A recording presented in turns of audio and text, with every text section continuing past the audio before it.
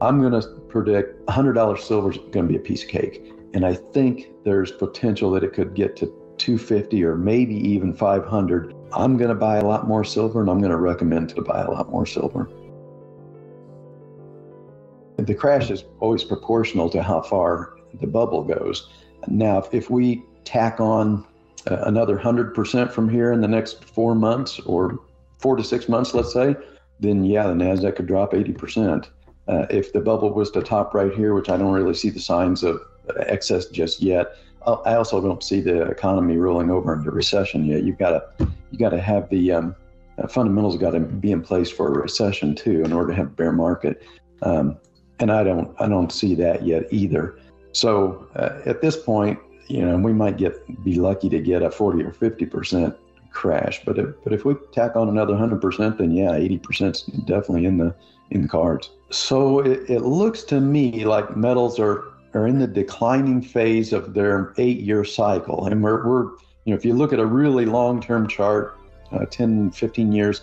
Uh, gold is, is forming what, what appears to be a really massive cup and handle consolidation.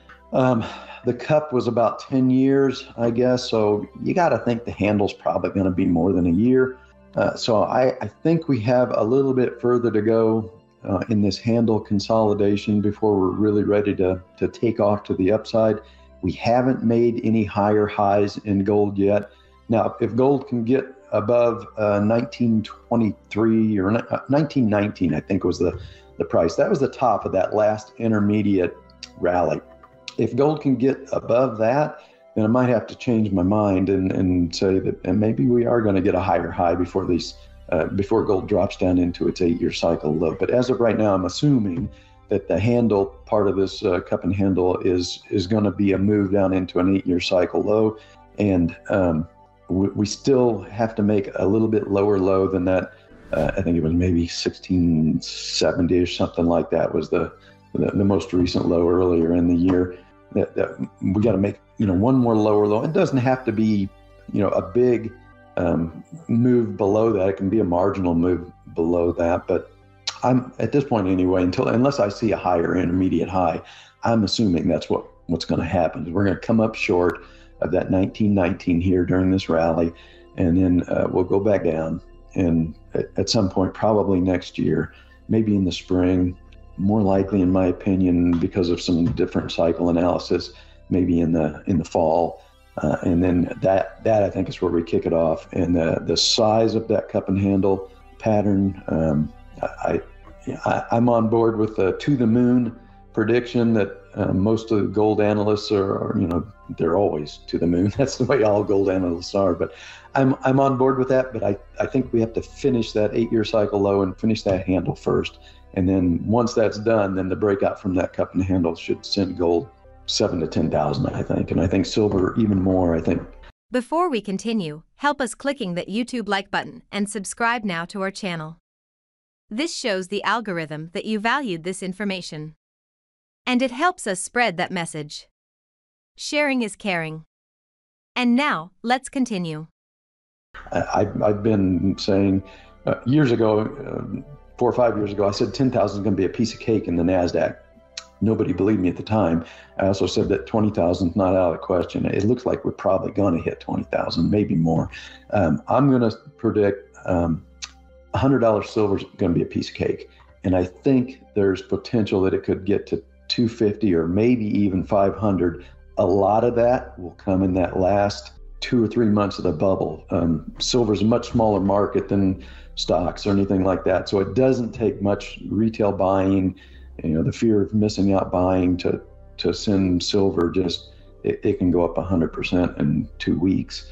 Uh, you look at the bubble in, in the 1950s and it was insane how quick that went up. So when, when I, when I say that it, silver could go to $500, it, it sounds unbelievable right now, but it could literally, could literally take five to seven years to get to $100, and then it could literally go from 100 to 500 in a matter of six to eight weeks. That's just how a bubble in silver could be. Um, central banks have just kept interest rates too low, too long. They've printed too much money. Uh, it's creating, um, I'm pretty sure it's creating a bubble in the stock market. When that bubble pops, what are they going to do? They're going to do the same thing they always do. They're going to print more money. Uh, they did the same thing in uh, 2008 when the housing bubble uh, popped. They started printing money, they cut rates, trying to um, resurrect the housing bubble and, and stop the uh, bear market in stocks. And what did it do? It, it all went into the commodity markets and, and caused uh, oil to go to $150 a barrel, which you know spiked inflation, which uh, in reality is what crashed the economy. It, it, it collapsed the middle class. So I think they'll do the same thing uh, when the stock market bubble pops. I think they'll just start printing money again. I think it's probably going to leak more and more into the commodity markets, and uh, we're already in an inflationary phase. And, and so I think uh, you know just we're going to have a long inflationary phase in commodities, and then when you get to the end, everybody jumps in at the end, and uh, so I think that's what's going to drive the, the bubble. And, and gold and silver is just bad policy by central banks uh, will ultimately have really bad consequences. You're going to get um, tighter spreads if you just go with uh, silver bars, uh, the 10 ounce and the 100 ounce bars. 100 ounce probably a little better than the 10 ounce. The coins have a huge premium on them, and I don't know that they're. Maybe you'll cover that premium at the at top of a bubble phase, but um, I think you're probably better off just to buy the 10 or 100 ounce bars. Just the spreads are going to be a lot tighter. So it's been kind of stuck in this sideways grind between 30 and oh, maybe 21. I'm not sure without looking at a chart what that bottom uh, was. Be- between uh, 30 and 21 dollars. Maybe, maybe we get another um, marginal break back below that that low at 21 or whatever it was. Kind of how this uh, latest intermediate cycle bottomed, and that's this is kind of typ- typical uh, big money uh, hedge funds, the banks, they'll they'll create these uh, breakdowns, triggers everybody stops, and then they can uh, they can buy what everybody else is selling and, and get in at the uh, exact bottom. So I don't I don't know that silver would need to go to fifteen dollars. I guess it could.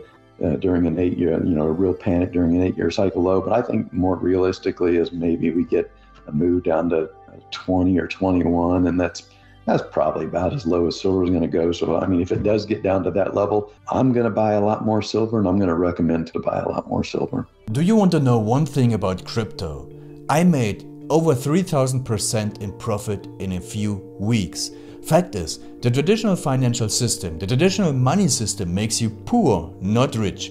If you want to earn 500,000, 1 million dollar, you have to wait until you're 50, 60, 70 in the traditional financial system and you probably will still be broke. And you will be old. This is not a sexy combination as you can imagine. But the question is, how can you start in crypto and make these profits? Where to invest? Where to start? My name is Gunnar and I'm from Germany as you can hear and things are a little bit different in Germany. More about that later on. Fact is, there are lots of different cryptocurrencies. It's a gigantic universe where beginners and professionals get easily lost. But there is light at the end of the tunnel. There are seven key steps you need to follow to become successful in this market. You have to know them, and if you fail one of them, it's literally impossible to succeed in this market. Just an example, one of the key points is your exchange, and one of the biggest are, for example, Binance and Coinbase. These are trusted and well-established exchanges, but, and this is a big but, you won't find the super profitable coins on those exchanges. The unknown super profitable coins that get gigantic profits are not traded on those kind of exchanges. They are traded on much smaller insider platforms that are barely known. And I can tell you what those super secret exchanges are and why they are so profitable. And another super important thing are the right information sources. The point is, the internet is gigantic. There are hundreds and hundreds of YouTube channels, blogs, pages and much, much more. And there are also market makers and influencers. For example, Elon Musk, he is not a crypto guy, but the moment he recommended Dogecoin, it went through the roof, to the moon so to say. But why did he recommend it?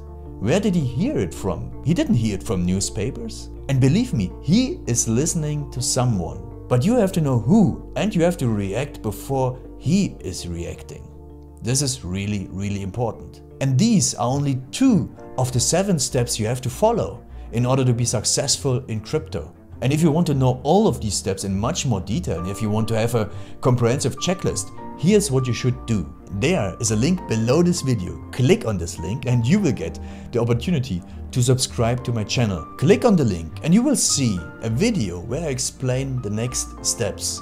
So see you soon, click on the link now. I'll see you there.